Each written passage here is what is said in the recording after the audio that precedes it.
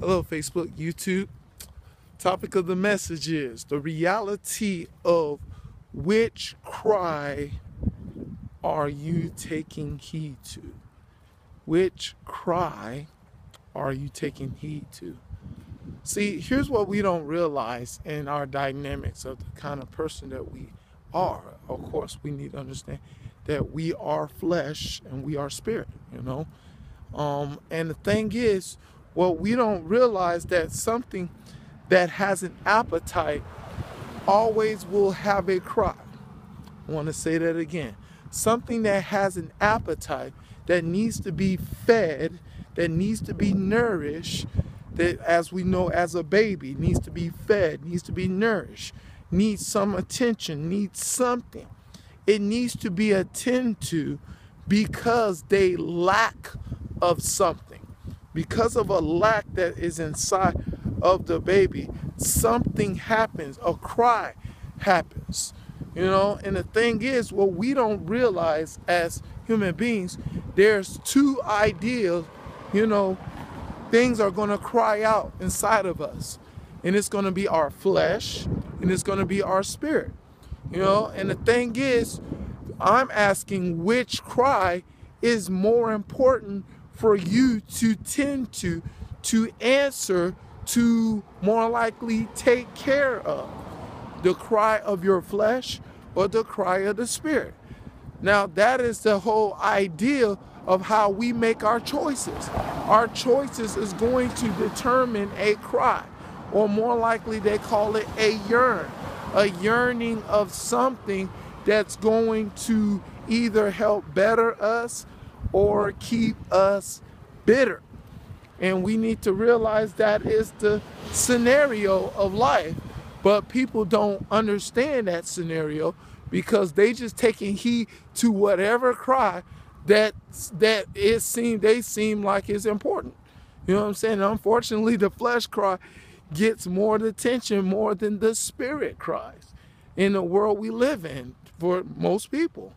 And the thing is, and that is not a good thing because now they are nourishing, they are taking care and making something grow that wants to end their life because of course the lust of the flesh and the lust of the eyes and the pride of the life and the wages of sin is death. But the gift of god is eternal life. The gift of god that is all about the cry of the spirit that wants the needs the answer.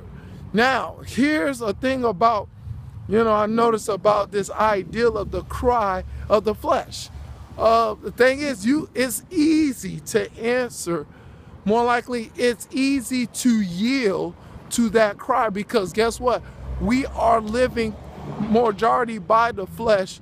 You know what I'm saying? Concerning we were born because we're born in sin, shaped with iniquity, and our flesh in the world is influencing our flesh. We should value our fleshly values in whatever shape or form, whether it's, you know, being with somebody, having things, having cars, having clothes, having this, having that, y'all know, so and so on on the earth, having the things of the earth, that it will make our flesh feel good.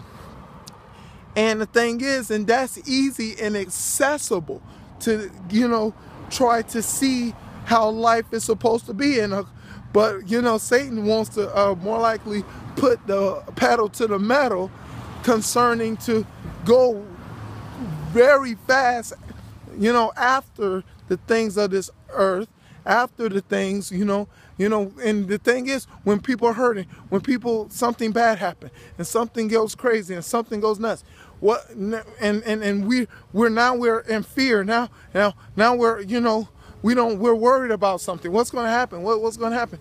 And all of a sudden, uh, a cry is going to cry. Something's going to cry.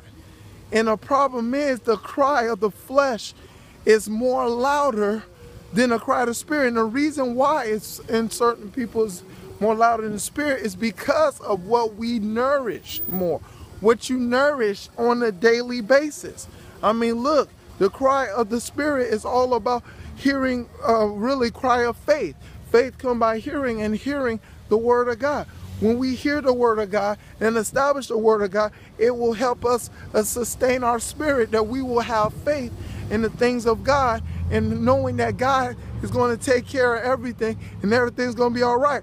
But if we're feeding a cry uh, of the flesh with pretty much influence, you know, both, you know, same influence about words, you know, and the words of the things of the world, telling you to go after money, sex, and drugs and material things and everything out there. And when we hear the cry of things of the world, we go after, we will yield to that. We will yield. And that's what really uh, Paul is talking about in uh, Romans 6, you know, about, you know, we are yielding to, you know, the things of wickedness and the things or things of obedience concerning righteousness. We either be servants of righteousness or service of disobedience. That is the problem in the saga with a lot of people in life, and we need to understand that that saga is real. And the thing is, and we need to understand that we need to stop feeding this part because guess what? When that flesh cry out, we're gonna go after something of the earth, and we're gonna try to get this temporal, you know, earth to sustain us, to try to heal us, you know, you know, the bars, go cry out to the clubs or go cry out to, you know, this place and that natural place and, and let it see if it can answer us. And you know the earth only have nothing but temporal answers for you. That's it. All of the stuff that's going on the earth that has in common that people see and think that, you know, it's a forever answer. No, it's a temporal answer. And the thing is, people are being deceived and thinking that that answer is going to give them a new true answer. But there you go. And the thing is, people just need to understand only the spirit will only have the answer because a spiritual God, I try to tell people, established us. That's why it's important to understand and know that God created us. God created us so only, and God is spirit, and only a spirit can answer the situation that's going on in our lives. That's how it's blatantly really an understanding that you need to understand. Because everybody think you know oh well i don't need god. I can just you know do by myself and you know and handle this with my earthly uh, ideals and earthly things can handle and cope with the problems and the trials and tribulations of my life and that's what satan wants you on and thinking that way so you can leave wages of sin is death. I mean, that's just a deadly way of looking at life.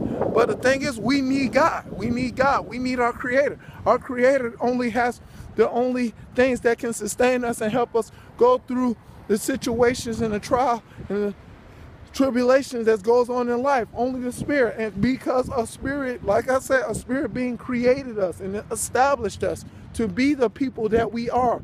Without this spiritual being, we will not exist in this world and we will not have our living, uh, our being, our existence without God. And the thing is, that's why we need to feed the cry of the word of God inside of us, the word of God. And that's why we need to get the word of God and apply the word of God. You know, it's kind of like, you know, get lotion and you apply the lotion and put it on your skin so avoid you from becoming ashy and dry. You know what I'm saying? We need to up just, and that's how we should look at the Word of God. That it's uh, something that we listen and apply, little by little, daily and daily, that we learn to become better Christians. You know what I'm saying? And understand why we should do this, and understand what we're doing is going to, you know, bring our our being. We're gonna do what we were created to do. That we were, you know, made and shaped in the image to do. And that's how we're gonna answer the true cry inside of us that's going to keep crying out. That's the only way. I mean, but if you want to keep exploring all these worldly, you know, foolish options, uh, get ready for hurt, pain, disappointment each and everywhere you go. I mean, that's what y'all know that's the truth, but hey, y'all want want to be daredevils to keep thinking that this world can give you the better satisfaction of answer the cry that's inside you join the cycle, the, the that cycle of a lot of people that in the graves that can tell you something different. But that's the message. I hope you got an understanding.